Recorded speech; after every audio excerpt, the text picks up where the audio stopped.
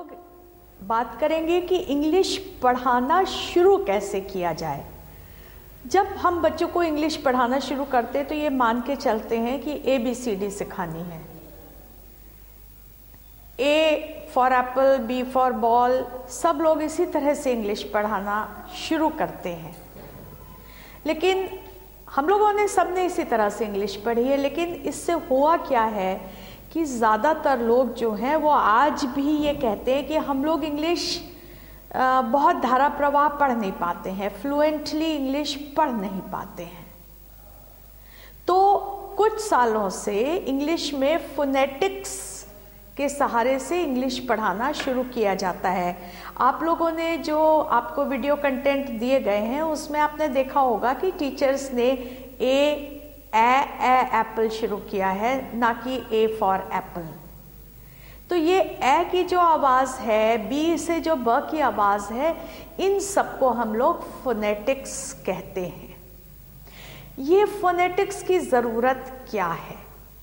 सबसे पहले तो हमको ये समझना है कि जब हम इंग्लिश के लेटर्स पढ़ाते हैं या हिंदी की वर्णमाला पढ़ाते हैं तो उसका उद्देश्य सिर्फ़ एक है कि बच्चे को लिखना और पढ़ना और बोलना तीनों चीज़ सिखाई जाए। हिंदी में बोलना हमें सिखाना नहीं पड़ता है, क्योंकि ज़्यादातर जिन, जहाँ ये वीडियो कंटेंट जाएगा, आपकी भाषा हिंदी है। लेकिन इंग्लिश में बोलना भी उतना ही ज़रूरी है सीखना, क्योंकि ये भाषा हमारी अपनी नहीं है।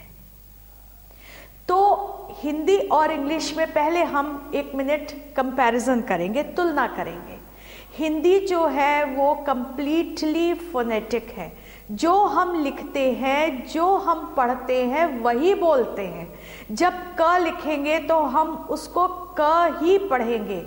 उसकी साउंड कभी भी क से अलग नहीं होगी। ऐसा नहीं है कि कहीं क की साउंड जो है वो क सुनाई पड़े और कहीं स और कहीं ख। ऐसा नहीं होता है। ये मुश्किल इंग्लिश में आती है। क्यों आती है? क्योंकि हिंदी जो है, वो संस्कृत से उत्पन्न हुई है। ज़्यादातर जो हमारी भाषाएँ हैं, वो संस्कृत से ही निकली हैं और बाद में उसमें उर्दू के अंश आए हैं या क्षेत्रीय भाषाओं के अंश आए हैं। इंग्लिश जो है, उसके शब्द जो हैं, वो कम से कम छः सात भाषाओं से मिलकर के इंग्लिश लैंग्वेज बनी है। उसमें Latin, Roman, Greek, German, French, हर प्रकार के वर्ड्स आए हैं।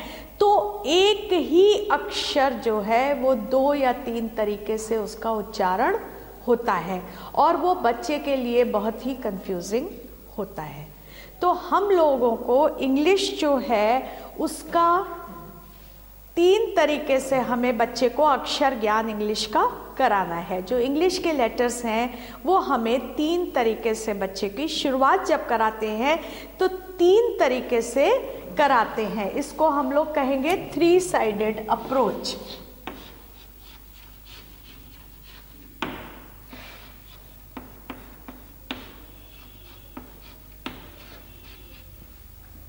तीन साइडेड अप्रोच क्या हुआ? एक तो अक्षर का नाम नेम दूसरा, उस अक्षर को पहचानने के लिए कोई प्रतीक या कोई सिंबल।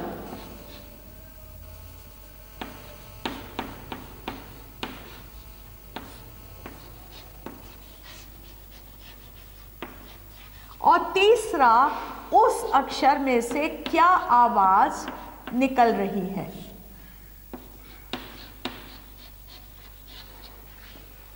नाम प्रतीक और आवाज़ नेम सिंबल एंड साउंड ये तीन चीज़ों के साथ हमें बच्चे को पढ़ाना शुरू करना चाहिए।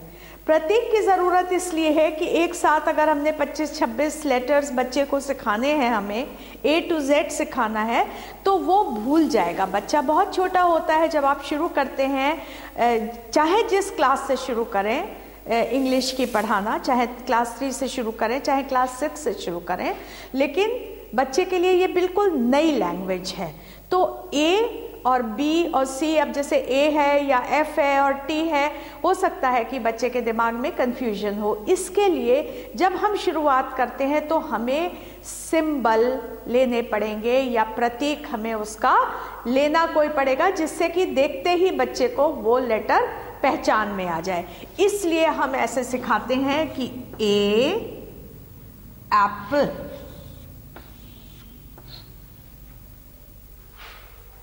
लेकिन उसके साथ हमें साउंड ज़रूर सिखानी चाहिए शुरू से ही। तो हम उसको लाते हैं कि A apple but A says A A.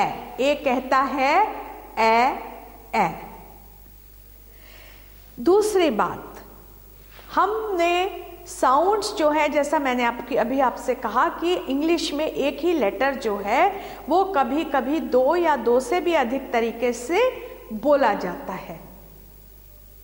लेकिन हमने जो साउंड चुनी है, बच्चे को शुरू में सिखाने के लिए, वो हमने ये देखा है कि छोटे छोटे वर्ड्स तो बच्चा शुरुआत कोई भी भाषा सीखने की, जब शुरुआत होती है तो छोटे शब्दों से होती है। तो उन छोटे शब्दों में जो साउंड इस्तेमाल होती है, हम वही साउंड बच्चे को सिखाना चाहते हैं शुरू में। और बाद में जैसे जैसे भाषा पे उसका अधिकार बढ़ता चला जाएगा, तब फिर दिक्कत अपने आप खत्म हो जाएगी तब हम उसको सिखाएँगे कि नहीं, ये इस इसकी आवाज़, इस लेटर की आवाज़, ये भी होती है और ये भी होती है और ये भी हो सकती है। तो कन्फ्यूज़न बच्चे के दिमाग में शुरू से हम नहीं डालेंगे। इसलिए जो प्रतीक हम सिखाते हैं वो ऐसे सिखाएँ कि जो हम साउंड सिखा रहे हैं उससे उस प्रतीक का नाम शुरू होता हो। जैसे कि मैं आपको दो उदाहरण देना चाहूँगी जैसे सी है।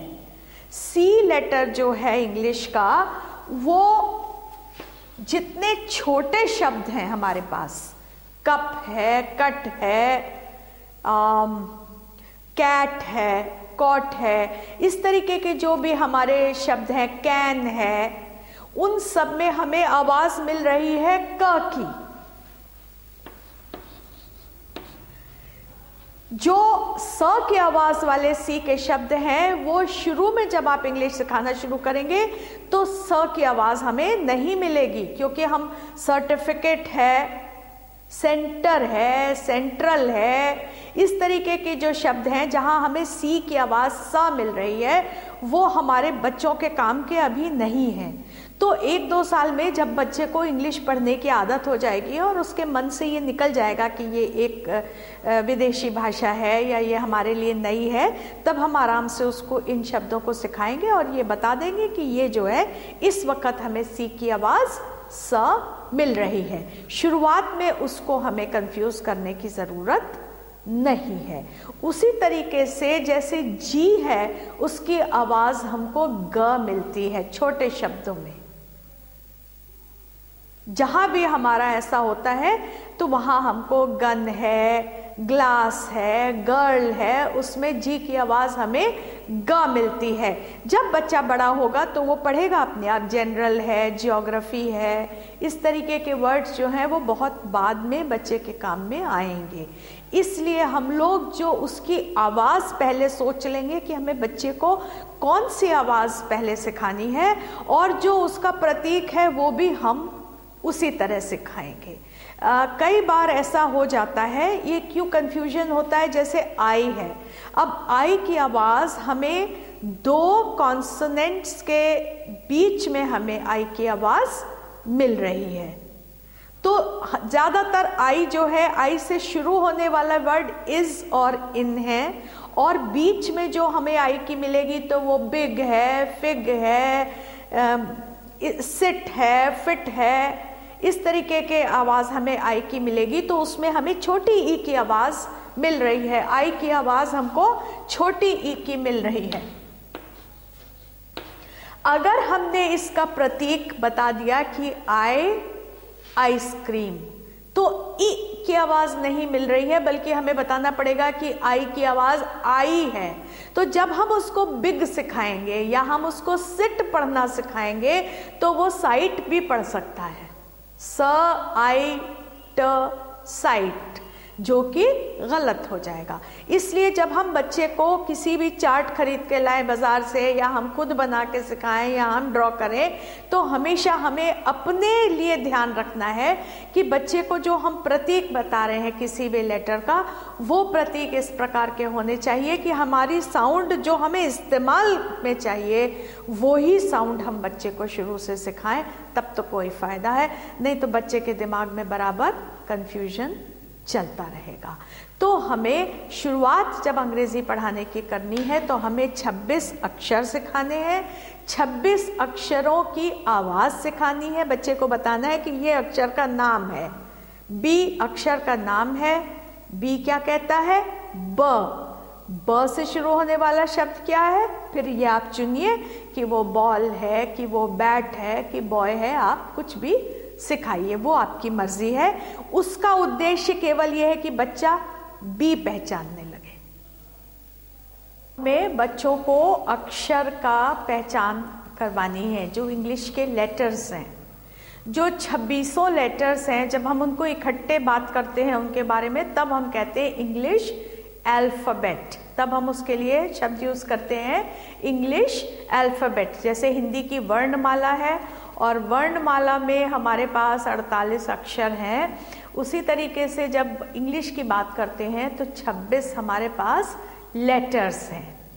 ये हम सीखेंगे लेटर्स 26 लेटर्स हैं जो कि सब मिला के इंग्लिश का अल्फ़ाबेट बनता है। ये जब लेटर्स हम सिखाना शुरू करेंगे तो इसमें खास बात, जैसे मैंने बोला, कि प्रतीक उसी हिसाब से चुने गए हैं जो हमें साउंड इस वक्त सिखानी है।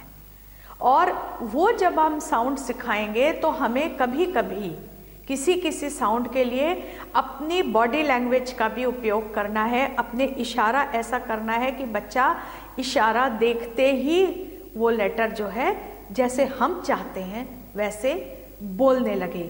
कई लेटर्स ऐसे हैं जिनको कि हिंदी में हम जब लिखते हैं तो उसको लिख के हम आपको ठीक से बता नहीं पाते हैं। तो लेकिन बोल रहे हैं हम, और आप लोग उसको ध्यान से सुनिएगा और कोशिश करिएगा कि अपने कक्षा में उसी तरीके से उसको बोलें। ये पहला जो स्टेप है, अगर ये सही पार हो गया तो आगे चल के बच्चे के उच्चारण में कभी कोई गलती नहीं होगी। कभी भी कोई गलती नहीं होगी।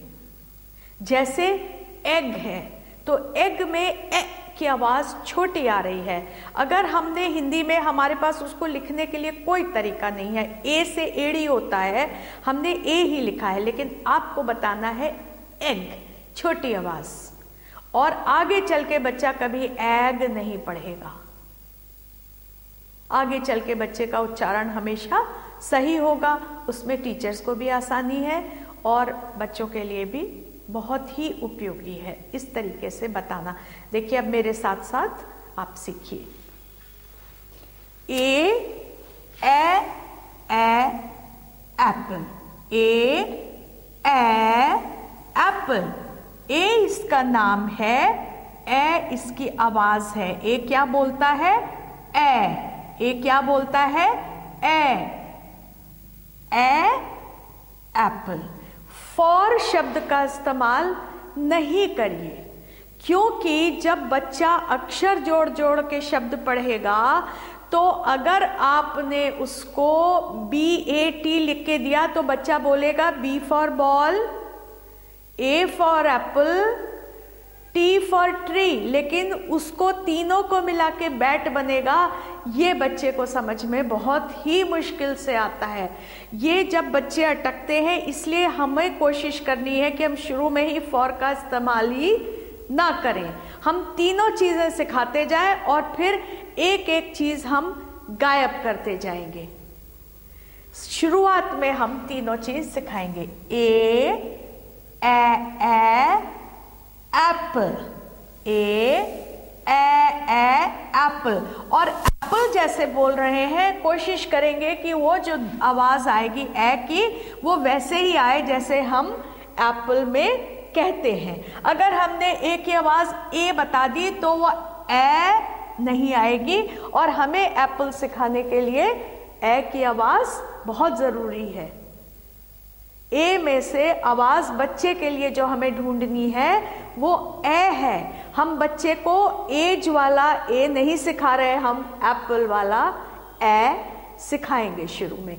क्योंकि बच्चा जो है, वो एज और एट ये दो छोटे शब्द सीखेगा। एम एज और एट शुरुआत में। उसके अलावा हर जगह ए बीच में आएगा।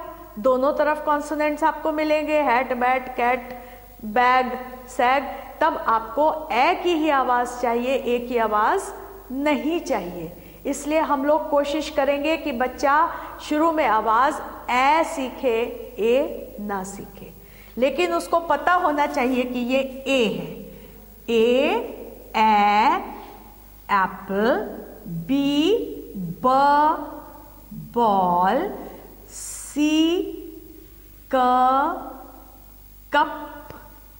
डी ड डॉल ई अब ये थोड़ा मुश्किल है। मैं इस पे एक स्टार बनाती हूँ ताकि आप हमेशा याद रखें कि इस पे हमें बहुत ध्यान देना है।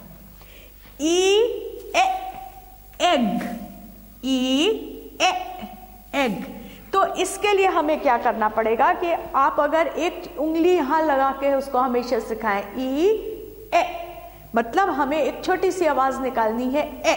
जैसी आवाज़ हमें एलिफेंट में मिल रही है, जैसी आवाज़ हमें एग में मिल रही है, उस तरीके की आवाज़ हमें बच्चे से चाहिए। ई, ए, एग, ये छोटी आवाज़।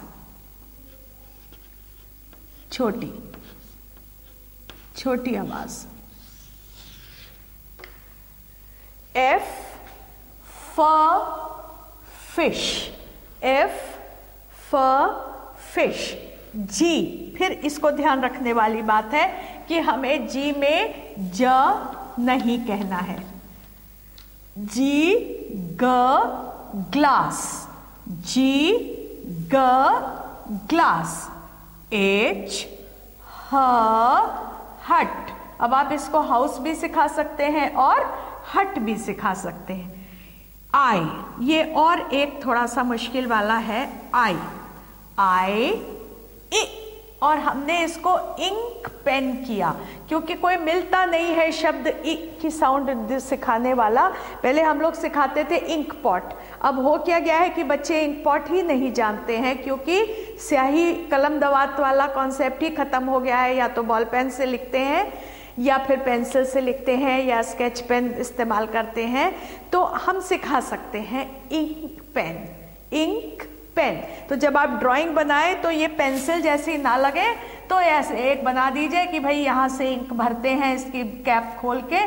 तो ये है इंक पेन। आप चाहे तो इंक के लिए एक छोटी सी ये बना दीजिए, इनको बता दीजिए कि इसमें स्याही भरी हुई है। उसको इंग्लिश में कहते हैं इंक इंक पेन। जे ज जग जे ज जग के क काइट एल ल लायन लायन हमने खास तौर से चुना है क्योंकि ल लाइट भी हो सकता है, ल लैम्प भी हो सकता है लेमन भी हो सकता है। लायन की बात यह है कि ज़्यादातर लोग लायन को गलत बोलते हैं लॉयन कहने लगते हैं। लॉयन नहीं है लायन है। इसी समय आप इसको आराम से सिखा सकते हैं। लायन बड़ा मुँह खोल के, बड़े आ की मात्रा लगा के लायन एम म मैंगो एन न नेस्ट आप नेट भी बना सकते हैं, आपको जो अच्छा लगे, न की आवाज़ वाले कई शब्द मिल सकते हैं। नेस्ट इस तरह सीधी साधी तरीके से बना के एक डाल ज़रूर बना दीजिए, ताकि वो अगर अच्छी ड्राइंग ना भी हो तो उसको बच्चे को समझ में आ जाए कि ये घोंसले के लिए न नेस्ट एन न नेस्ट ओ ऑरेंज ओ ओ ऑरेंज पी प पैरट पी प पैरट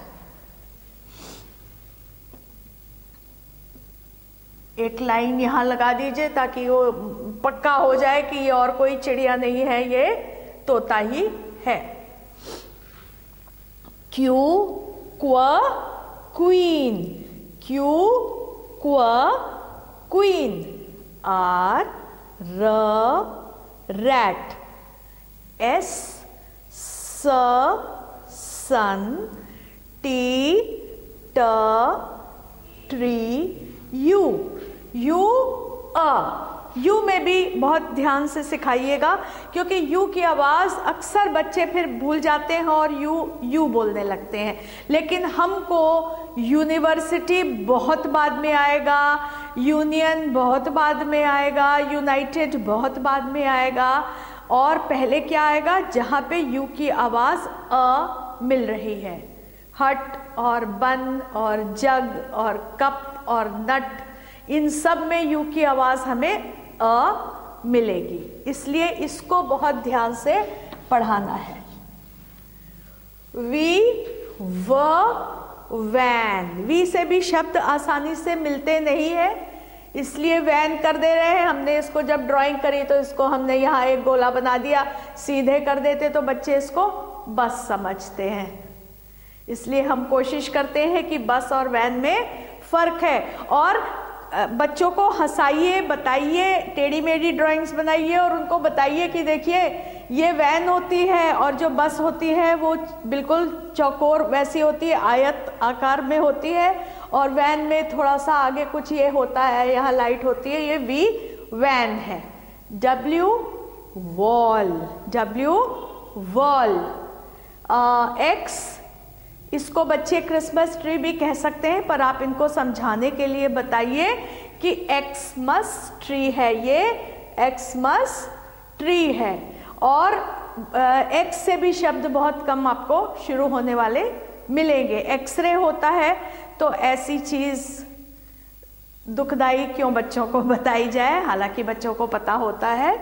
वाई में आप एक येलो कुछ चिपका दीजिए, कहीं से पीला रंग रंग दीजिए। वाई येलो क्योंकि जो किताबें होती हैं उनमें यॉट बना होता है। ये एक तरीके की आम, वो होती है नाव जिसमें कि मस्तूल होता है और उसमें सेल बनी होती है। लेकिन बच्चे फिर उसको बोट से कंफ्यूज करते हैं। या यॉट ज़्यादातर होता है या फिर एक लट्टू होता है जिसको योयो कहते हैं। वो भी बच्चों के काम वो शब्द आगे चल के नहीं आता है। लेकिन हमको बहुत जल्दी जैसे ही बच्चे लेटर सीख लेंगे फिर हमें कलर्स तो पढ़ाने ही है उनको, इसलिए शुरुआत ही आप इससे कर दीजिए कि य yellow, Z zebra Z zebra. और इसमें भी ध्यान रखिएगा कि ये जेब्रा नहीं है, ये जेब्रा भी नहीं है, इसमें बिंदी लगा के जीब्रा। और हम लोग ब्रिटिश तरीके से अंग्रेज़ी पढ़ाना पसंद करते हैं भारत में, इसलिए हम इसको जेड कहते हैं। लेकिन ये जीब्रा क्यों कहलाता है? क्योंकि अमेरिका और बहुत से देशों में जेड नहीं बोला जाता जी बोला जाता है। देखिए, जैसे जी टीवी है, उसको जेड टीवी नहीं कहते, उसको जी टीवी कहते हैं। तो ये जो जेड है, इस अक्षर को हम जी भी कह सकते हैं। हालाँकि ये मान्यता नहीं है हम लोगों में, हम लोग सब ए टू जेड ही बोलते हैं। इसलिए इसको जीब्रा करके ही पढ़ाइए और जेड ज जीब्रा जेड ज zebra Y yellow Y yellow Z ज जीब्रा बड़े ई की मात्रा लगा के बोलेंगे तो सही उच्चारण आएगा जेड ज जीब्रा एक बार जब बच्चे को नेम सिंबल और साउंड। तीनों चीज़ें जब बच्चे को आपको लगे कि आपकी क्लास में ज़्यादातर बच्चों को ये समझ में आने लगा है तब हम डॉजिंग करेंगे। डॉजिंग के मतलब ये है कि आ, कई बार बच्चे एक धारा प्रवाह उसको याद कर लेते हैं, एक सीक्वेंस में याद कर लेते हैं। वो भी गलत हो जाता है कि ए एप्पल बी ब बॉल तो वो बिना देखे बोलने लगते हैं। रट जाता है उनको। तो अब आप ऐसा करिए कि उनसे कहिए कि हम जिसको दिखाएँगे, वही वाला बोलना है। तो उनकी ये जो लाइन से रटने की जो प्रक्रिया है, उसको हमें तोड़ना है। तो आप उनको दिखाइए, हाथ में रूलर या पेंसिल कुछ ले लीजिए और फिर यहाँ पे लाइए। जी, ग, ग्लास। सी, क, कप। ई, ए, एग। ई, ए, एग। के, क, kite.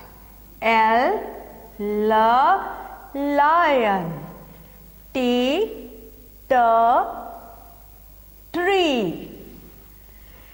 इतना जब आपको लगे कि बच्चे का पक्का हो गया, तब हमें इनको सिंबल्स से दूर करना है। सिंबल्स पे जो इनकी डिपेंडेंस है, जो ये उन पर पूरी तरह से निर्भर हैं अक्षर पहचानने के लिए, वो डिपेंडेंस हमको बिल्कुल ख़त्म कर देनी है। इसका अर्थ ये है कि टी पहचानने के लिए ट्री बना होना ज़रूरी नहीं है। जेड पहचानने के लिए ज़ीब्रा की तस्वीर होनी ज़रूरी नहीं है। ई पहचानने के लिए एग होना ज़रूरी नहीं है।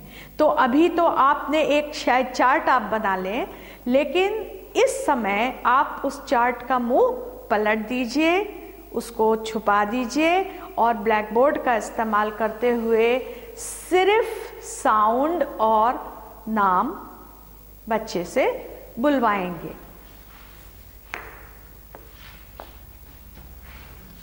जब ये नहीं होगा तो बच्चे को बोलना है, बी, ब, बी ब। और आप, ये तो आपकी सुविधा के लिए है तो आप ये सिर्फ़ बी ही रहेगा। और आप पूछेंगे name, B. What does the B what does B say B क्या बोलता है? ब। बी क्या बोलता है? ब। सी क्या बोलता है? क। ना वो कैट कहेगा, ना वो कप कहेगा। अब इस समय आपको ये भी करना है कि जो छोटे छोटे वर्ड्स और हो सकते हैं, उसी साउंड से शुरू होने वाले वो बच्चों को थोड़ा बताने की कोशिश करिए। हो सकता है बच्चों को खुद भी थोड़ा सा आइडिया हो, लेकिन इतना आइडिया इंग्लिश का नहीं होगा, लेकिन आप भी कोशिश करिए। जैसे पी प पैरट है, उसके साथ आप पेंसिल भी ला सकते हैं।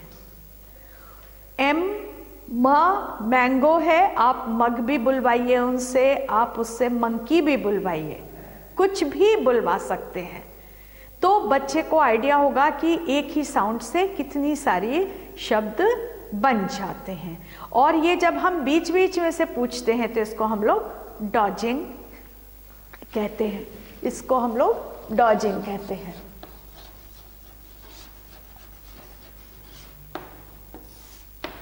इसको हम लोग डॉजिंग कहते हैं।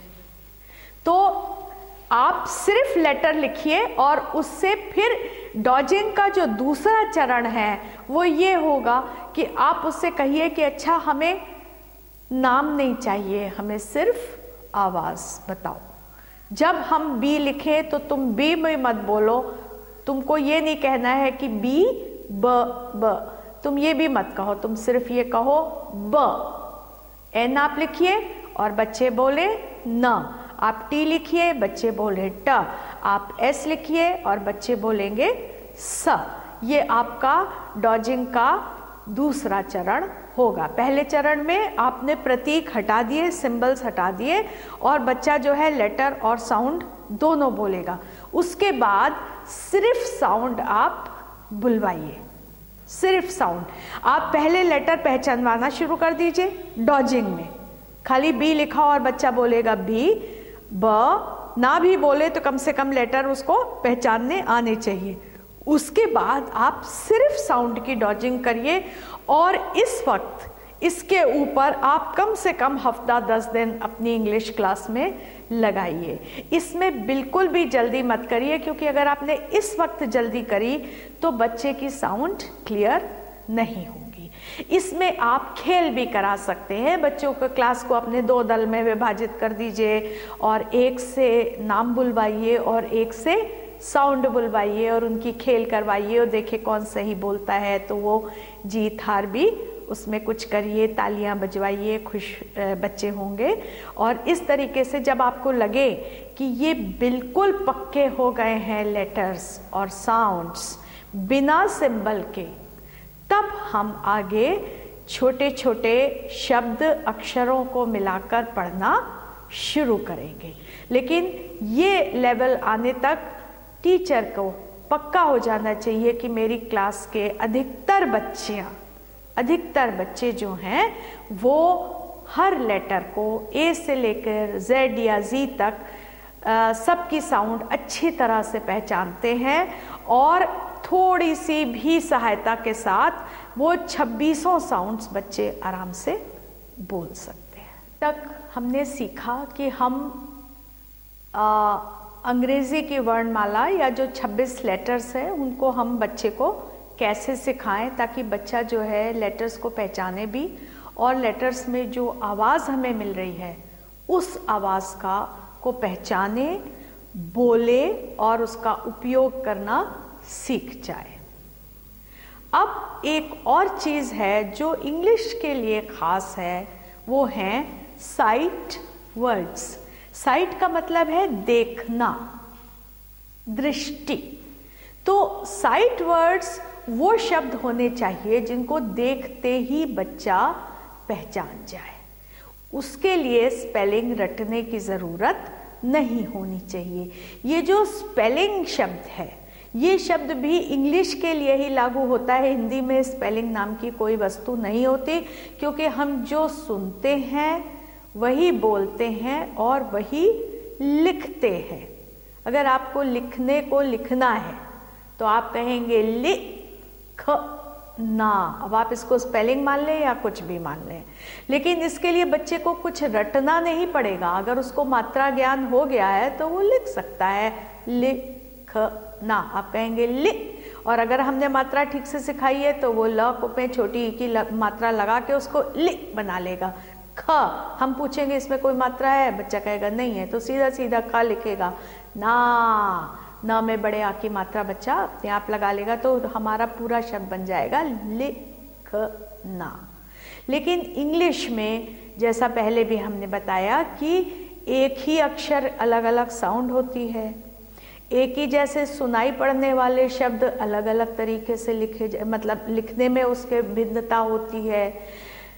आ, कभी कभी किसी में कोई तर्क भी नहीं हो, हम लगा सकते कि ऐसा क्यों है, लेकिन फिर भी वो शब्द उसी तरह से लिखा और पढ़ा जाता है। आप साइट शब्द को ही देख लीजिए तो साइट में ना जी का कोई औचित्य है, ना ह का कोई औचित्य है, लेकिन ये S I G H T ही इसकी स्पेलिंग है। तो इसीलिए स्पेलिंग की ज़रूरत पड़ती है। और इंग्लिश सीखने में बच्चे को हज़ारों स्पेलिंग याद करनी ही पड़ेगी। फोनेटिक से हम भाषा को सिर्फ़ आसान कर सकते हैं, लेकिन स्पेलिंग रटने की प्रक्रिया को हम पूरी तरह से मिटा कभी नहीं पाएँगे। ये ज़रूर है कि कंप्यूटर पर स्पेल चेक के सहारे से आप बहुत से स्पेलिंग सही कर सकते हैं, लेकिन फिर भी हर बच्चे को इंग्लिश सीखने के लिए स्पेलिंग तो रटनी ही पड़ती है। हम लोग ये चाहते हैं कि इंग्लिश जब बच्चा को साउंड्स आ जाए तो बहुत जल्दी बच्चा मीनिंगफुल सेंटेंसेस पढ़े, ताकि उसको पढ़ के ये लगे कि अरे, ये तो पूरी बात है और ये बात मैं समझ सकती हूँ। ये खाली कोई हवाई शब्द नहीं है कि जिसको कि बस मुझे रट लेना है। मैं पूरी पूरी बात इंग्लिश में लिख सकती हूँ, पढ़ सकती हूँ, बोल सकती हूँ और समझ सकती हूँ। ये खुशी जितनी जल्दी आएगी, बच्चे का डर भी ख़त्म हो जाएगा इंग्लिश से और बच्चे को खुद किताब पढ़ने की इच्छा होने लगेगी। जहाँ आपने ये इच्छा पूरी कर दी बच्चे की आप ये ये इच्छा उसके मन में जगा दी एज अ टीचर तो आपका पढ़ाना सफल हो जाएगा। इसलिए हम लोग साइट वर्ड्स को बहुत शुरू में ही ले आते हैं। आपको लगेगा कि अभी जिस बच्चे ने ए पहचानना सीखा है या सी में से क की आवाज़ आती है, सीखा है, इतनी जल्दी इतने बड़े बड़े शब्द लाने का क्या मतलब है?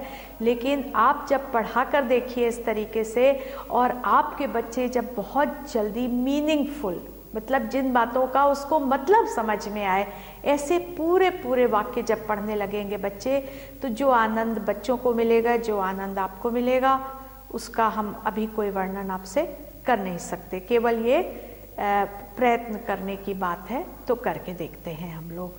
साइट वर्ड साइट वर्ड्स के मतलब वो शब्द जो हम बार बार दिखाएँगे, मगर हम उनको ध्वनि में तोड़ेंगे नहीं। हम उसकी स्पेलिंग नहीं रटाएँगे। ये वो शब्द हैं जिनको बच्चा सिर्फ़ देख कर सीखेगा। इसका सबसे आसान तरीका ये है, क्योंकि ऐसे तो साइट वर्ड्स बहुत सारे हैं इंग्लिश में, कोई अंत ही नहीं है। लेकिन हम क्या करेंगे कि जो साइट वर्ड्स हम सोचते हैं कि अंग्रेज़ी शुरू करने वाले बच्चों के लिए ज़रूरी है, उनको थोड़े थोड़े शब्दों को हम एक जगह लिखते जाएँगे उनको 10-10 दिन के लिए रोज़ हम सिर्फ़ दो बार उनको रिवाइज करवा देंगे। और आप देखिएगा कि 10 दिन में वो बच्चा देख देख कर ही वो शब्द सीख जाएगा।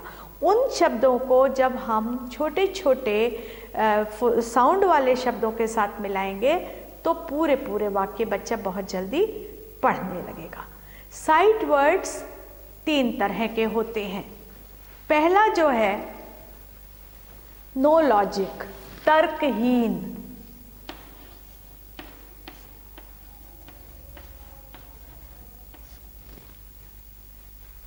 इसमें हम कोई आपको तर्क नहीं बता सकते कि इसकी आवाज़ ये आती है और ये ऐसे बनता है, ऐसे बनता है। बस हमें मान के चलना है कि ये शब्द ऐसा है तो है, हम उसमें कुछ नहीं कर सकते। जैसे पहला शब्द इस तरह के शब्दों का मैं उदाहरण दूँगी, स्कूल। इसको आप साउंड के सहारे नहीं बता सकते कि इसमें, क्योंकि ज़्यादातर सी और ये जो है, ये च की साउंड मिलती है। जब हम च कहेंगे रिच है सच है, इस तरह के शब्दों में हमें सी एच की साउंड हमें मिलती है च। तो ये स्कूल में ये क की साउंड आ रही है तो इसलिए पहला साइट वर्ड जो है, ये इस तरीके के जो है, शब्द हम कुछ ऐसे ले लेंगे कि जिनमें कोई तर्क नहीं है, जैसे माए हैं। माए है। अब यह साउंड हम सिखा रहे हैं वाय की, और हम माए में आई की आवाज़ आ रही है। तो हम माए को हम उसको साइट वर्ड की तरीके से लिख देंगे और अगर हम रोज बच्चे को दिखाएँगे, ये देखो, ये क्या है? माए। हम एम वाई तोड़ेंगे नहीं। साइट वर्ड की खासियत ये कि हम उसको तोड़ेंगे नहीं। हम ये नहीं कहेंगे एम वाई माए। जैसे हम एक गेंदे का फूल दस दिन दिखाएँगे कि ये गेंदे का फूल है तो बच्चा पहचान लेगा कि ये गेंदे का फूल है। माँ कहती है, बेटा, कटोरी उठा लाओ। कटोरी लाओ, तुमको दाल परस दें इसमें, तुमको खीर दे दें तो वो कटोरी वर्ड इतनी बार इस्तेमाल होता है कि थोड़े दिन में जैसे ही बच्चा बोलना सीखता है, वो कटोरी समझ जाता है। इसी तरीके से साइट वर्ड्स हैं। माँ नहीं बताती कि ये धातु की बनी हुई गोल चीज़ है, इसमें हम खाना खाते हैं। इसी तरीके से ये साइट वर्ड्स हैं। इनको हम तोड़ेंगे नहीं। इनकी स्पेलिंग नहीं कहेंगे। हम होमवर्क भी नहीं देंगे कि एम वाई माई याद करके आओ। बिल्कुल नहीं। हम सिर्फ़ दिखाएँगे कि साइट वर्ड्स में कि देखो ये है माए ये बाय ये स्कूल इस तरह के साइट वर्ड्स हम बनाएँगे। तो एक टीचर के लिए सबसे आसान ये है कि एक पुराना कैलेंडर ले लीजिए और जो मोटा वाला पेन होता है मार्कर होता है कलर होता है, उससे ये शब्द थोड़े थोड़े करके लिख दीजिए। जब आपको लगे कि हमारे बच्चे ये जितने आठ दस वर्ड्स लिखे हुए हैं, वो उनको याद हो गए हैं, देखते ही बच्चा फट से बता देगा, ये ऐसा लिखा है, ये ये लिखा है। तो आप अगले पन्ने पे चले जाइए, उसको पलट दीजिए। और वो पन्ना तो आपके पास रहेगा ही, आप वापस पलट के उसको रिवाइज कराते रहिए।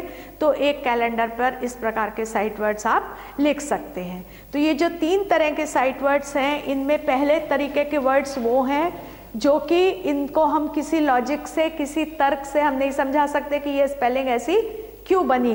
दूसरी तरीके के साइट वर्ड्स ऐसे होते हैं जो कि बहुत ही ज़रूरी हैं बच्चे के लिए सीखने। उसके बिना वो इंग्लिश नहीं सीखेगा। बहुत जल्दी वो इस्तेमाल उसको करने ही पड़ेंगे। छोटे भी वर्ड्स हैं, बड़े भी वर्ड्स हैं, जैसे दी इसके पास भी हमारे पास इसका कोई लॉजिक नहीं है, लेकिन ये बहुत ज़रूरी वाले शब्द हैं तो ये होते हैं। तीसरी तरह के शब्द ऐसे हैं जो कि बच्चे को खुशी देते हैं, और बच्चे उनको बहुत जल्दी सीखेंगे। इसमें आप नाम डालिए, अपनी कक्षा के बच्चों के नाम लिख दीजिए, बच्चे उसको देखते ही पहचान जाएँगे, हालाँकि बड़ी बड़ी भी स्पेलिंग हो सकती है। बड़े बड़ी भी स्पेलिंग हो सकती है, किसी की श्वेता है, मान लीजिए तो बहुत लंबी स्पेलिंग होगी, लेकिन बच्चा जो है, बिना उसको S H E W T A ये सब याद किए बिना, फट से, कम से कम हर बच्चा या बच्ची अपना नाम उसमें देख के तुरंत पहचान ले। आपका स्कूल जिस जगह पर है, उस जगह का नाम लिख दीजिए। वो बच्चा उसको देख करके तुरंत पहचान लें। और फिर आप इसमें अपने तरह तरह से साइट वर्ड्स के लिए इस वाले में ग्रुप्स बनाइए कि चलिए इस बार हम इनको तीन चार खाने पीने की चीज़ों के नाम लिख देते हैं। आप लिखी लीजिए उसमें पूड़ी लिखिए, जलेबी लिखिए इंग्लिश में। और बच्चा जो है देख के फट से बताए कि ये जलेबी लिखा है, ये पूड़ी लिखा है, ये खीर लिखा है इंग्लिश में। तो ये सब जो है खुशी वाल देने वाले वर्ड्स हैं। हो सकता है कि आपके यहाँ के बच्चों ने कहीं कोई फ़िल्म भी देखी हो, उनको फ़िल्मों का शौक हो, कहीं से कुछ, क्योंकि बच्चे, आप दिखाएँ टीवी ना दिखाएँ, लेकिन कुछ तो फ़िल्मों की जानकारी होती है, उनसे पूछिए, तुम्हें कौन से एक्टर या एक्ट्रेस पसंद है? नाम कहीं लिख दीजिए। और बच्चे देख के इतने खुश होंगे, शाहरुख खान कितना बड़ा नाम है। आप उसको लिख दीजिए, चौथे दिन हर बच्चा बताएगा कि ये क्या लिखा है? शाहरुख खान लिखा है। तो इस तरीके के साइट वर्ड्स हम लोग बना सकते हैं। उसमें कुछ पहली कैटेगरी के, कुछ दूसरी कैटेगरी के, कुछ तीसरी कैटेगरी के शब्द जो हैं, वो आप कैलेंडर के पन्ने पर लिखना शुरू कर दीजिए। एक हफ़्ता लगा रहने दीजिए, उसके बाद उसको पलट दीजिए, नए शब्द डालिए और पिछले शब्द जो हैं, वो रिवाइज करते रहिए खोल खोल के। तो आप ये देखिए कि महीने डेढ़ महीने के भीतर बच्चों के पास 30, 40, 50 शब्दों के भंडार आ जाएगा। कुछ साइट वर्ड्स जो ज़रूरी हैं वो हम यहाँ पर लिखते हैं। उनको इसी तरीके से आप सिखाएँगे। सबसे ज़रूरी बात साइट वर्ड सिखाने में ये है कि इसमें हर शब्द अलग हम लाइन में लिखेंगे ब्लैक बोर्ड पे, इसका अर्थ ये नहीं है कि आप लाइन से वो वर्ड्स पढ़वाएँ। तीन या चार से ज़्यादा एक लाइन में शब्द नहीं आते हैं, लेकिन आपको उन शब्दों की जगह बदलनी है, ताकि बच्चे लाइन से ना पढ़ना शुरू कर दें, क्योंकि ये अपने आप में हर साइट वर्ड अलग है। ये कोई वाक्य नहीं बना रहे हैं, ये कोई बात पूरी नहीं कह रहे हैं। तो जो आपके पास कैलेंडर में तीन अगर दस शब्द लिखे हैं तो आप उनमें से चुन के वर्ड्स ब्लैक बोर्ड पर भी ला के लिख सकते हैं कि ये क्या लिखा है। उधर देख के बताओ कैलेंडर में देखो और बताओ कि ये मैंने क्या लिखा। मान लीजिए कि आपने किसी का नाम जानकी है और उसमें आपने जानकी लिखा हुआ है, या आपने स्कूल लिखा है, या आपने जौनपुर लिखा है तो वही जौनपुर जैसे वहाँ कैलेंडर में लिखा है, वैसे आप उसको अगर आप दिखाएँगे, बोर्ड पे लिख के बच्चे तुरंत बताएँगे कि ये जौनपुर है। तो शुरू से उनको ये समझाइए कि ये हर शब्द अलग अलग है। जैसे हम शुरू हमेशा साइट वर्ड्स करते हैं, आए, माए बाय तो ऐसा मत करिएगा कि I my by to do you ऐसे लाइन वाइज ना चले। सिखाने के लिए शुरू में ऐसे करिए, फिर इन शब्दों के स्थान हिलाते रहिए। साइट वर्ड के स्थान हिलाते रहिए और ब्लैक बोर्ड पे लिख लिख के भी अलग अलग पूछते रहिए ताकि बच्चे जो हैं उनको एक साथ ना रटें। कोई भी शब्द अलग से देखते ही पहचान जाए। अब कुछ साइट वर्ड्स हम बताते हैं और बाकी साइट वर्ड्स आप अपने हिसाब से सोच के बच्चों को बताएँगे। पर ये आवश्यक साइट वर्ड्स हैं जो हम बता रहे हैं।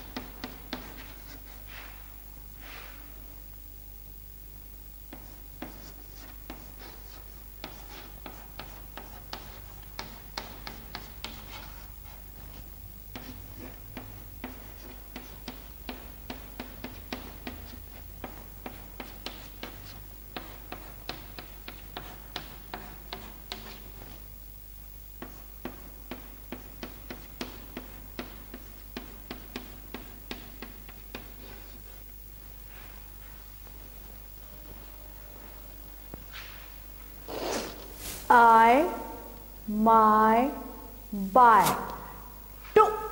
अब इसका ध्यान रखना है कि आवाज़ छोटी हो। टू। छोटी आवाज़ के साथ। क्योंकि टू जो है, वो एक अलग शब्द होता है अंग्रेज़ी में, जिसमें दो ओ लगते हैं। उसका मतलब होता है भी। ये टू। Do you. इसीलिए, क्योंकि इसका कोई तर्क नहीं है कि डू को हम डू क्यों कह रहे हैं। जैसे रूम बोलेंगे तो उसमें हम दो ओ लगाते हैं तो डू में एक ही ओ क्यों है? अगर हम तर्क लगाए तो हम इसको तर्क के साथ साथ नहीं समझा सकते, इसलिए हमें ऐसा करना पड़ेगा। टू डू यू यू में भी कोई लॉजिक नहीं है, हम इसको किसी तरह नहीं समझा सकते कि ये वाई ओ यू मिला के यू क्यों बना। अब तो मोबाइल के मैसेजेस में सब लोग सीधे यू ही लिखते हैं और लोगों की स्पेलिंग इसीलिए लोग कहते हैं बर्बाद हो रही है, लेकिन शायद वो ठीक भी हो आगे चल के, लेकिन इस समय तो हमें बच्चों को वाई ओ यू ही सिखाना है। तो to, do you, so, no, go, ये बहुत ज़रूरी है सिखाने, क्योंकि हम उनको ओ की आवाज़ ओ सिखा रहे हैं। इसमें ओ आ रही है, so, no, go, he, she, the love good like school mother father brother sister friend teacher अब आपको कोशिश ये करनी है कि इनकी जगह बदलते रहें, ताकि बच्चा लाइन से ना रट ले, I my by to do you देख इधर रहे हैं, खेल उधर रहे हैं और जब आप पूछ रहे हैं तो बच्चे को पूरा याद है, to, do you so no go? क्योंकि हम इसी तरह चार्ट में या कैलेंडर में लिख देते हैं। तो उस लिए ज़रूरी है कि आप ऐसे सिखाइए और फिर इन्हीं में से ढूंढ ढूंढ के शब्द को ब्लैक बोर्ड पे लिखिए और बच्चा जो है देखते ही उसको पहचान लेना चाहिए। इसके बाद आप इसमें हैप्पी वर्ड्स जोड़ते रहिए कि उनके नाम, उनके पेरेंट्स के नाम हो। आपके बहुत ज़रूरी है कि जिस जगह आपका विद्यालय है, उस जगह का नाम भी ज़रूर होना चाहिए। वो हो। और बाद में आप फिर अपने मन से सोचते रहिए कि आज हम दो और चीज़ें इनको सिखा दें। तो चलिए, स्टेशन लिख दिया, हॉस्पिटल लिख दिया। इस तरीके की चीज़ें भी हो सकती हैं कि आप बच्चों को बड़े बड़े शब्द जो है, बच्चा देखते ही पहचान जाए। उसमें उसको रटने की मेहनत ना करनी पड़े। इन शब्दों के स्थान बदलते रहिए ये शब्द भी बदलते रहिए और पन्ने जो हैं वो ताज़ा करते रहिए। एक बार में सात आठ से ज़्यादा साइट वर्ड्स नहीं हो तो ज़्यादा अच्छा है ताकि बच्चे के मन में कोई कंफ्यूजन नहीं होना चाहिए। जब बच्चों को आराम से आ, सारे आपके लेटर्स के साउंड्स पता चल गए और वो लोग बिना किसी सिंबल के साउंड्स को पहचानने लगे तो रीडिंग की शुरुआत की जानी चाहिए। साउंड्स को पक्का करने के लिए आप ऐसा भी कर सकते हैं कि आप इनको क्योंकि जब छोटे बच्चे लिखना सीखते हैं और पढ़ना सीखते हैं इंग्लिश जहाँ इंग्लिश मीडियम स्कूल्स होते हैं तो वहाँ पर वो क्या करते हैं कि बिल्कुल नर्सरी से ही इंग्लिश चालू हो जाती है। लेकिन और स्कूल्स में कई बार ऐसा होता है कि इंग्लिश जो है देर से चालू होती है। तो बच्चों को लिखने में कोई दिक्कत नहीं होती, उनको पहले से ही हिंदी और नंबर्स वगैरह लिखना आता है। तो सारे लेटर्स आप लिखवा करके साउंड के साथ उनको सिखाते जाइए। डिक्टेशन के रूप में आप दीजिए उनको कि सिर्फ़ साउंड बोल दीजिए, प। तो उम्मीद कीजिए कि बच्चा पी लिखेगा।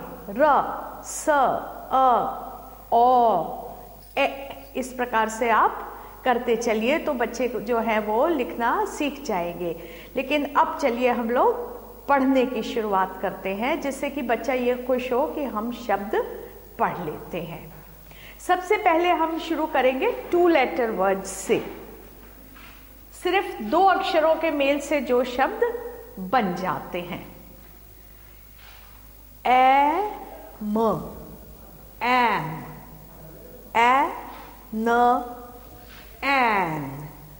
A, s, as.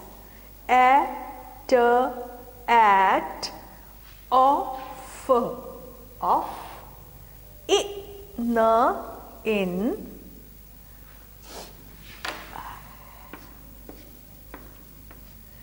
It's, is, it, it, uh, us, us. इस तरह से जब हमने दो अक्षर के वर्ड्स पढ़ाने शुरू कर दिए, अब हम जैसे मैथ्स में पहाड़े होते हैं टेबल्स होती हैं, बिल्कुल उस तरीके से हम लोग अपनी अपनी फोनिक टेबल्स बना सकते हैं बच्चों के पढ़ाने के लिए। सबसे पहले हम लोग शुरू करेंगे एट से, क्योंकि ट की जो साउंड है, ये सबसे क्लियर साउंड होती है। इसमें कोई गलती होने की संभावना नहीं होती है। इसमें कोई भी कंफ्यूजन नहीं होता है। एट एट आपने एट यहाँ भी पढ़ा दिया है, पहले से पढ़ा हुआ है। तो बच्चा जो है वो ये समझ लेगा कि एट ये क्या है? दोनों मिला के पढ़ो तो एट इसको हम लोग थोड़ा खेल खेल में भी सिखाते हैं कि देखिए ये दो बच्चे हैं, ये एट ये दोस्त है।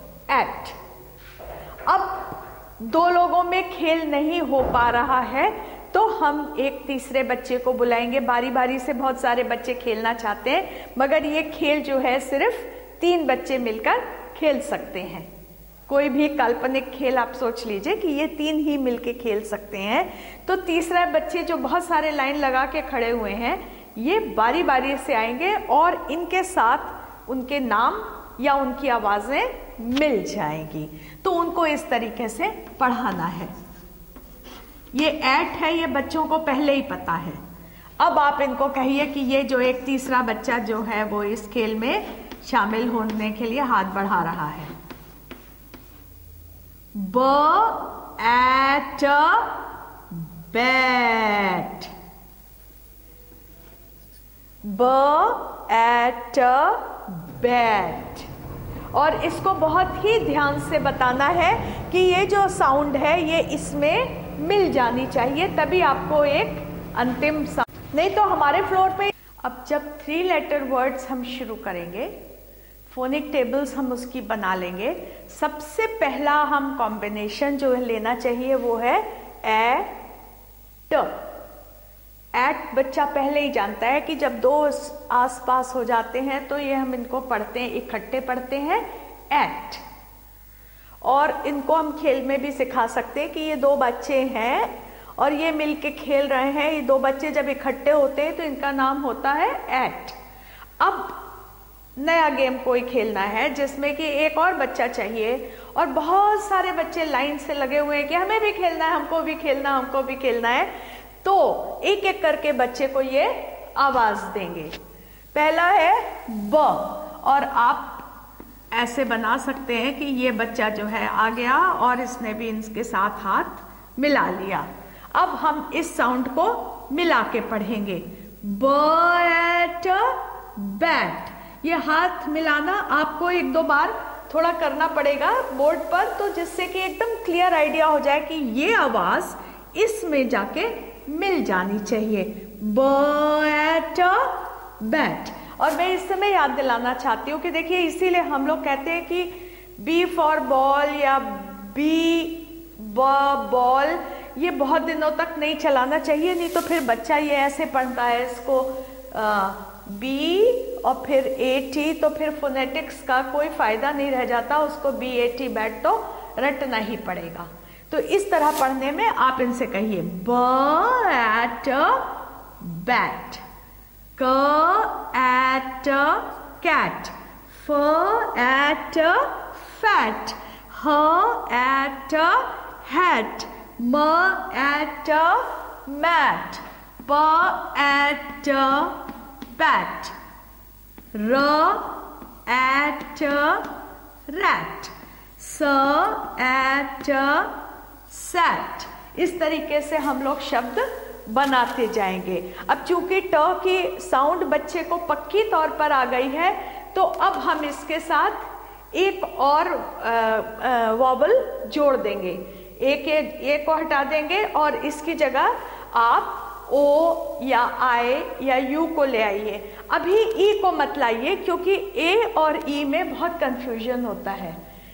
ए और ए इसमें कंफ्यूजन होता है तो एक ही साउंड सिखाते सिखाते ई को थोड़ा देर में लाइए, बाकी तीनों को ले आइए। ए ई आई ओ यू में आई ओ और यू पहले ले लेना, हमेशा अच्छा होता है, ताकि बच्चे का तब तक एकदम कंफ्यूजन हट जाता है। तो फिर अगर हम इसमें अब टेबल बनाएँगे टी को ऐसे ही रखते हैं और साउंड को, बीच की साउंड को हम बदल के ओ कर देते हैं। उसी तरह बताएँगे। ओट ऑट, क, ऑट, कॉट। ह ओट हॉट। ड ओट डॉट। प, ऑट, पॉट।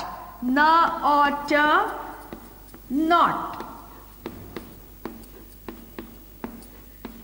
ग, ऑट, गॉट। इस तरीके से हमारी टेबल और ट की बन गई। अब हम इसी तरीके से आगे चलेंगे और इट की टेबल बनाएँगे। और देखिए, इट तो हमने पहले ही बच्चे को सिखाया हुआ है। इट उसको पता है टू लेटर वर्ड्स में, इट था। तो इट की टेबल भी ऐसे ही चलेगी। ब इट बिट, फ इट फिट प इट पिट इस तरीके से स इट सिट स इट सिट इस तरीके से हम लोग अपनी टेबल्स बना लेंगे। जब आपके ए आए ओ और फिर अब यू की साउंड ले लीजिए अट ब अट बट। न अट नट कट, ह हट। सबसे आखिर में आप ई की साउंड से तीन लेटर के वर्ड्स टी वाले साउंड के साथ पढ़ाइए और बार बार उंगली इधर लगाइए ताकि बच्चे को याद रहे कि हमें छोटी साउंड निकालनी है। ब एट बेट प एट पेट स एट सेट न एट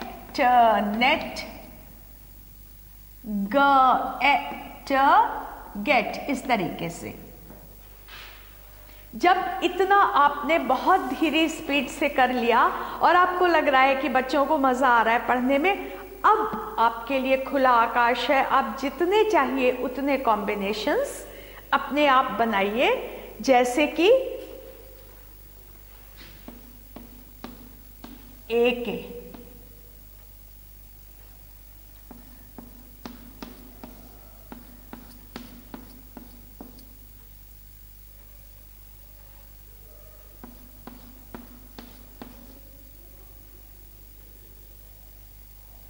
इस तरीके से। ब एग बैग, ब एड बैड, ब एन बैन।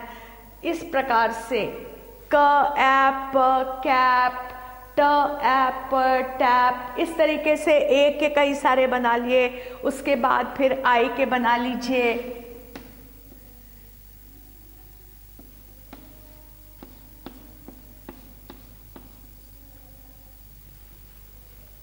ह इ ड हिड ब इ ड बिड ट इन टिन प इ न पिन इस तरीके से आपके बनते चले जाएँगे। सिर्फ़ एक कॉम्बिनेशन आपको अभी अवॉइड करना है, उसको ना छुए तो अच्छा है, वो है ए आर का। क्योंकि हम ए सिखा रहे हैं एक ही साउंड लेकिन हम लोग जब कार और फार और बार, ये जब हम बोलते हैं तो हमारी आवाज़ बड़े आ की आती है। जबकि इसमें, इसके हिसाब से एर होना चाहिए। तो अगर हमने सी ए आर लिखा तो बच्चा कैर पढ़ेगा, कैर। तो वो अमेरिकन प्रोनाउंसिएशन में, ब्रिटिश तरीके से बोलने में तो वो ठीक है। लेकिन इंडिया में हम लोग कैर या बैर या फैर नहीं कहते हैं। हम लोग फार कहेंगे, बार कहेंगे, कार कहेंगे, मार कहेंगे, पार कहेंगे। इसलिए हम लोग ए आर के कॉम्बिनेशंस को नहीं सिखाते हैं, बल्कि अच्छा ये होगा कि सी ए आर कार लिख के आप इसको साइट वर्ड्स में शामिल कर दीजिए तो बच्चा कार सीख जाएगा। हमने बहुत सारे पड़ाव पार कर लिए। एक एक लेटर की साउंड बच्चे ने सीख ली। उसके बाद हमने साइट वर्ड्स रोज़ दिखा दिखा कर बहुत सारे साइट वर्ड्स ये ऐसे हैं कि बच्चा देख कर ही पहचान जाएगा कि ये लिखा हुआ है बिना रटे। और इधर हमने पहले दो लेटर्स के और उसके बाद तीन लेटर के वर्ड्स फोनिकली मतलब उसकी आवाज़ के साथ उसको पढ़ने सिखा दिए। अब वक्त आ गया है कि हम पूरे पूरे वाक्य जिनका मतलब निकलता है और जो बच्चे को ये महसूस हो कि हाँ अब हम इंग्लिश में अपनी पूरी बात लिख सकते हैं और पूरी पूरी बात लिखी हुई आराम से पढ़ सकते हैं। और ये अगर हो गया पार तो समझ लीजिए आपने बच्चे के पढ़ने के लिए आप, आपने इंग्लिश के लिए प्यार जगा दिया बच्चे के मन में। उसका डर बिल्कुल अंदर से निकल जाएगा। हम क्या करेंगे कि साइट वर्ड्स को मिलाएँगे फोनिक वर्ड्स के साथ अपना वाक्य बनाने के लिए। और साइट वर्ड्स शुरू में ज़्यादा लीजिए फोनिक वर्ड्स कम लीजिए। साइट वर्ड्स को पॉइंट आउट करते रहिए किसी पेंसिल या स्केल की सहायता से। बच्चा याद करे, ये चार्ट साइट वर्ड्स का उसके सामने होना चाहिए। अब आप इसी में से वर्ड्स निकाल लीजिए। मान लीजिए, उदाहरण के लिए हमने माए निकाल लिया, गुड निकाल लिया।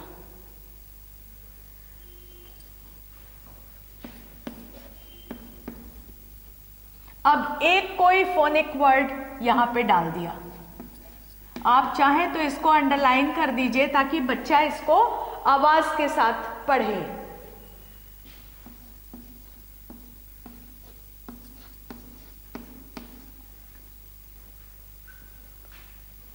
और इसको ऐसे आप पॉइंट आउट करिए।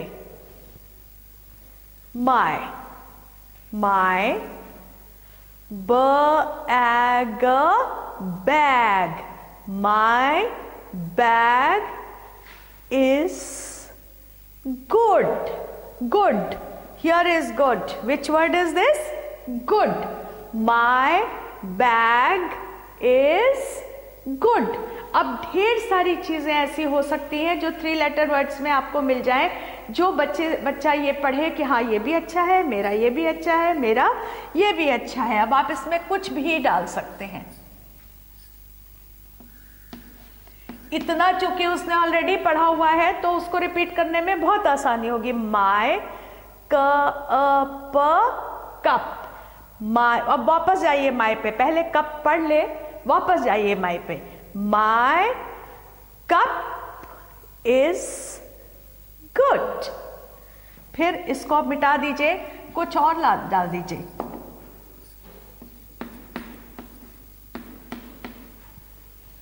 माय हैट क्या हुआ? हैट माय हैट माय पे फिर वापस जाइए ताकि अब कंटिन्यूएशन में सेंटेंस पढ़ा जाए पूरा। My hat is good.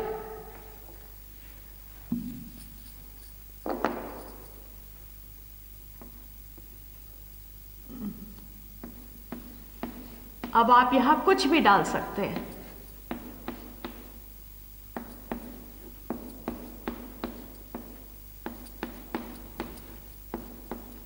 कुछ भी और बहुत सारे सेंटेंस पढ़ सकते हैं My bat is good, my cat is good, my hut is good, my dog is good, कुछ भी। और इसी तरीके से हम लोग फिर बहुत सारे सेंटेंसेस कर सकते हैं। शुरू अगर हमने आय से किया और इसमें साइट वर्ड में हम माई लगा देंगे। आई लाइक like और दिखाइए लाइक मुझे पसंद है। या लव कर दीजिए।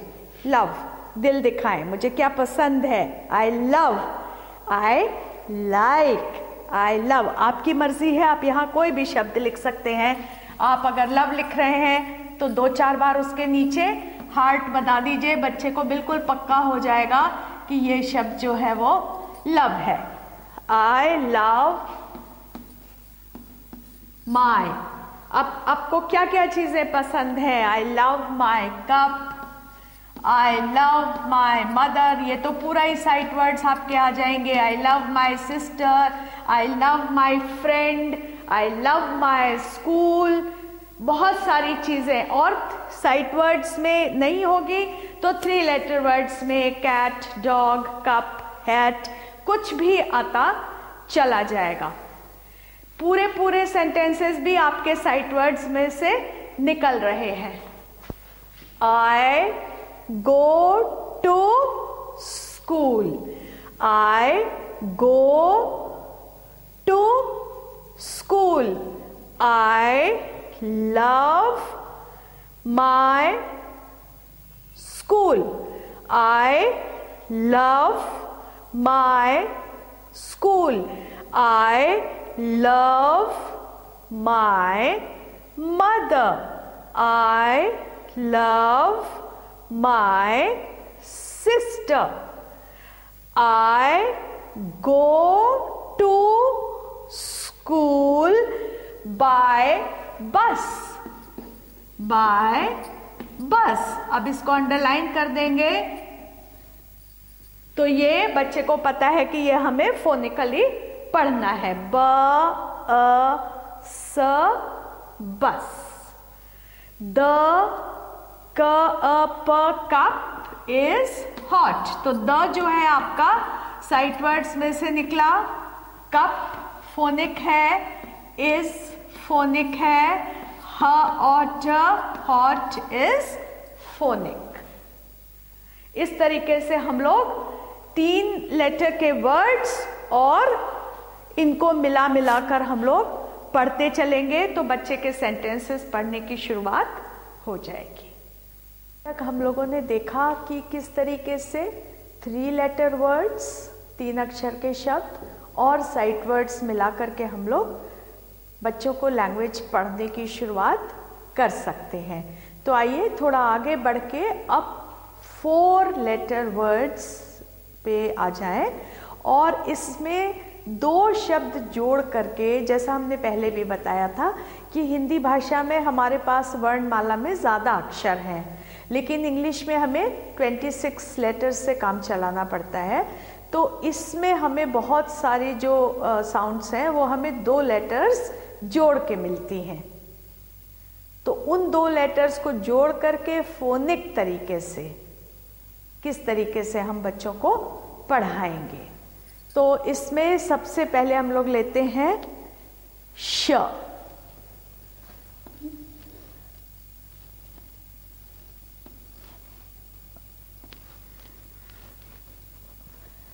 श। ये आवाज़ हमको मिली श। अब आप इसको किसी भी तरीके से, जब आप इनको साथ में आपने पढ़ा दिया कि जब ये साथ में होते हैं तो ये बोलेंगे श। अलग अलग से ये कहेगा स और ह। लेकिन जब ये साथ होंगे तो हमको आवाज़ मिल रही है श। तो जहाँ ये श हुआ तो जब आप शब्द लिखे, लिखेंगे बच्चों के पढ़ने के लिए तो इनको आप जब अंडरलाइन कर देंगे एक साथ तब पढ़ने में ये आसानी होगी कि उसको पता है कि ये दो मिलाकर के हमें एक नई साउंड बना के पढ़ना है। उसको उदाहरण देखिए।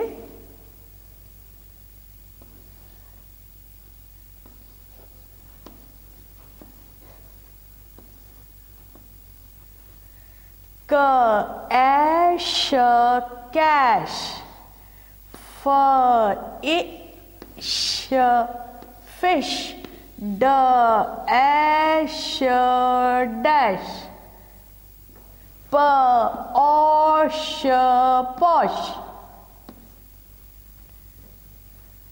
ह अश हश। अब ध्यान दीजिएगा। ये अकेला है तो इसमें ह, एच में से हमें ह की आवाज़ मिल रही है। हमने इसको अंडरलाइन कर दिया, स और ह जब पास पास होंगे तो हमें श की आवाज़ मिलेगी।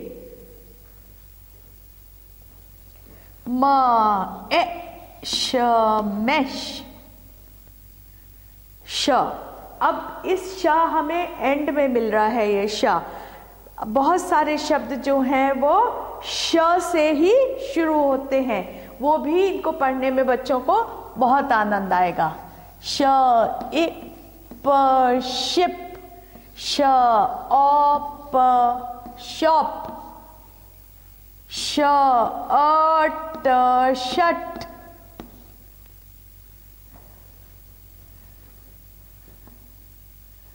श ए ड शेड इस तरीके से श की आवाज़ सिखा लीजिए। अब आते हैं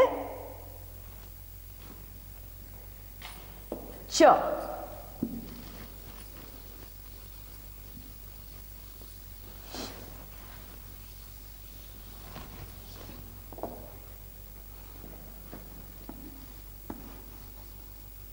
ये जब पास पास होते हैं तो हमें आवाज़ मिलती है, च।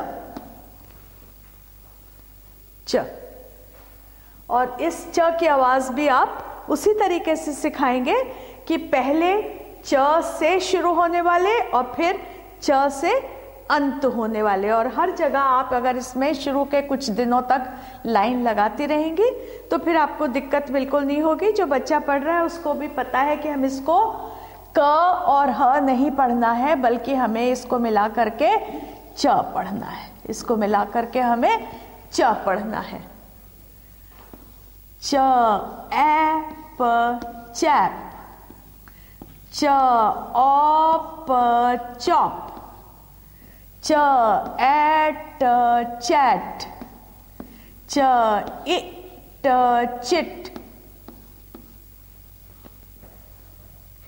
फिर जहाँ पर शब्द च में अंत हो रहा हो, जहाँ पर शब्द को अंत च में हो रहा है, जैसे श में किया था, बिल्कुल उसी तरह से च में करेंगे। र, इ, च, रिच। स, अ, च, सच। म, अ, च, मच। इस तरीके से च वाले शब्द हम लोग सीखेंगे। जब च और श की अच्छे से आदत हो जाए बच्चों को पढ़ने की, उसके बाद हम आर वाले शब्द लाएँगे।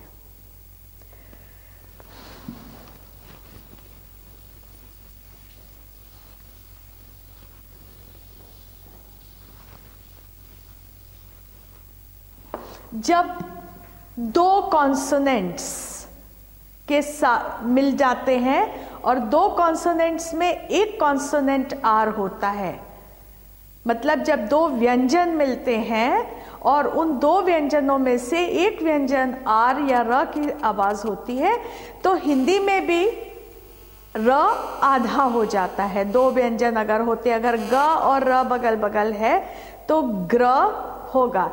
इसी तरीके से इंग्लिश में भी अगर दो कॉन्सोनेंट्स एक साथ होंगे तो आर की आवाज़ आधी या छोटी हो जाएगी। तो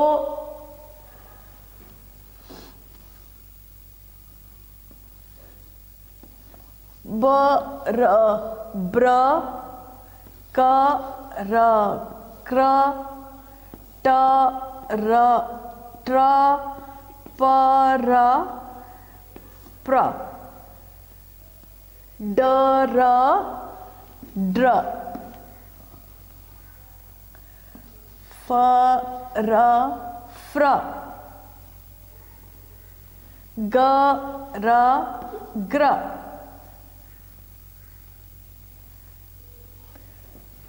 ब्र क्र ट्र। प्र, ड्र, फ्र,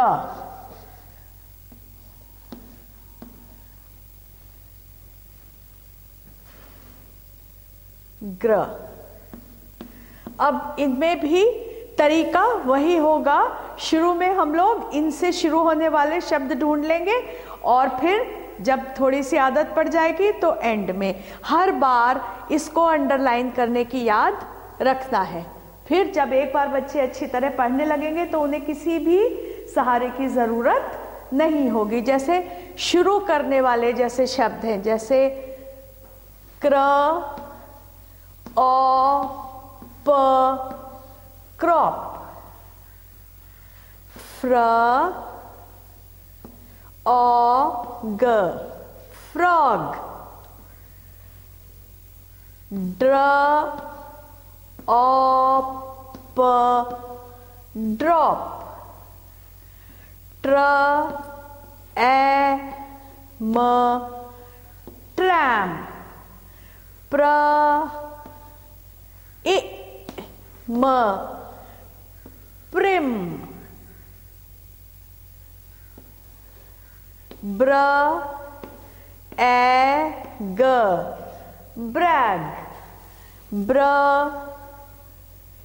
इ म ब्रिम इस तरीके से आपके आर वाले शब्द जितने भी हो सकते हैं बच्चों को, ये कर दीजिए और बीच में ये बदलते रहिए। बीच का जो ये आपका वॉवल है ए ई आई ओ यू बदल के कोशिश करिए कि मीनिंगफुल वर्ड्स हो।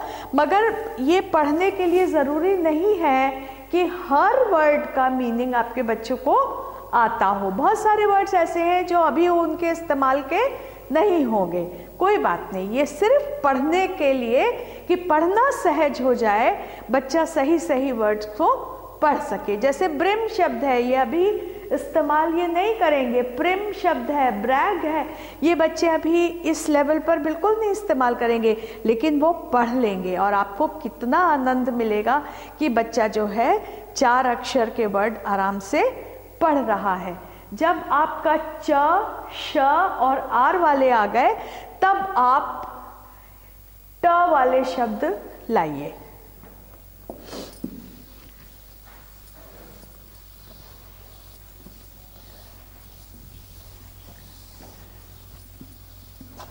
जो ट वाले शब्द हैं शुरू के लिए वो सबसे अच्छा रहेगा कि आप टी के साथ उसको आ, एस मिला करके कर दीजिए। उसमें बहुत सारे वर्ड्स कवर हो जाएँगे उसके बाद फिर वो अपने आप करने लगेंगे। स्ट। स्ट। स्ट। बहुत सारे शब्द इसमें पढ़ लेंगे पढ़ लेंगे। और फिर आप एस के साथ टी की जगह आप और भी कॉन्सोनेंट्स ला सकते हैं। स्ट वाले देखिए। स्ट, ए, प, स्टेप। स्ट ऑप स्टॉप। स्ट, ए, म, स्टेम। स्ट ग स्टैग इस तरीके से बहुत सारे शब्द आपके बन जाएँगे। फिर आप ये स्ट शब्द जो है वो बाद में लाइए। तरीका वही रहेगा। फिर आप सोचिए कि किस तरीके से हम बाद में ला सकते हैं स्ट की साउंड। प, ओ, स्ट। पोस्ट। ब, ए, स्ट। बेस्ट न एस्ट नेस्ट ल ost lost bust bust must must इस तरीके से हम लोग कर सकते हैं। इसमें आपका मन करे तो स्टार ज़रूर बताइए, लेकिन ए आर वाले जो शब्द हैं, उनको आप अलग से सिखा दीजिए। उसमें कार, फार, बार, इस तरह के शब्द लाने के बाद तब आप स्टार भी ला सकते हैं, जिससे कि वो आ की आवाज़ आए बीच में, ए की आवाज़ ना आए। तो इस तरीके से आपने डबल लेटर वाले जो शब्द हैं, जब आप ये सिखाने लगेंगे तो बच्चे की वोकेबलरी शब्द रचना, पढ़ने की स्पीड, सब कुछ अच्छे से बढ़ जाएँगे।